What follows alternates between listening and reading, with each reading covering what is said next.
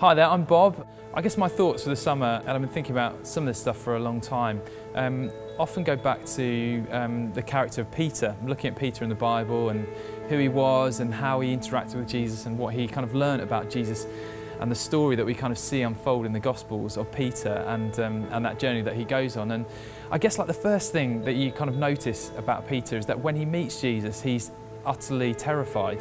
Um, and uh, he, he, sees Jesus do a miracle. You know, there's that story in Mark of when Jesus walks alongside the Sea of Galilee and he, he sees these two boats. He's trying to teach people, but maybe there's a bit of a crowd gathering around him. And he says to Peter, Can I use your boat? Can I step into your boat? And, and from that moment, when Peter says yes, his life completely changes as Jesus steps into his boat and um, begins to teach people from Peter's boat.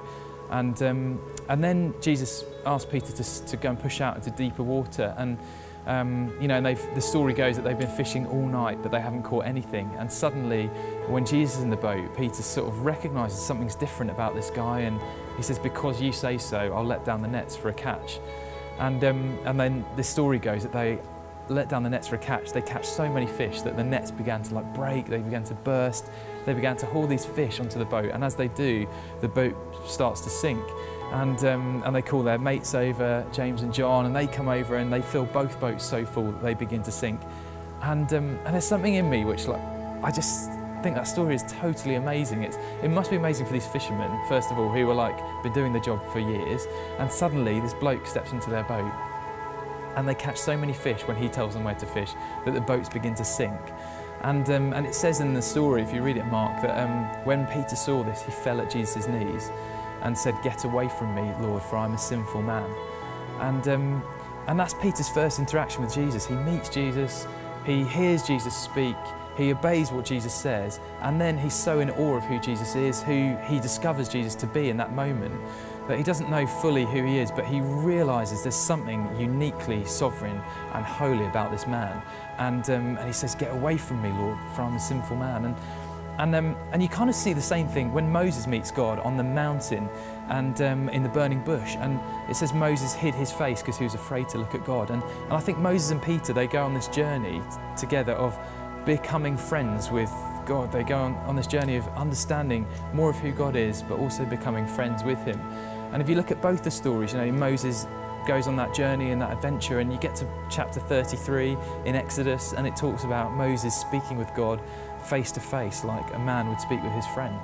And, um, and Peter goes on that journey. If you, if, you, if you flip forward in the Gospels, like right to the end, after Jesus has died, after he's, he's risen again, he's come out of the tomb and he's appeared to his disciples, he meets John on the shore of, uh, of Lake Galilee again, and the, the disciples have gone out fishing.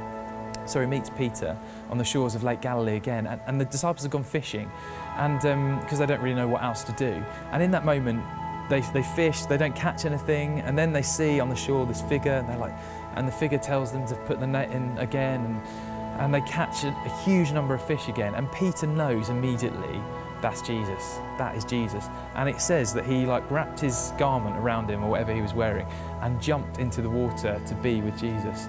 And I love the picture of Peter at the beginning when he meets Jesus saying, Jesus, get out of my boat.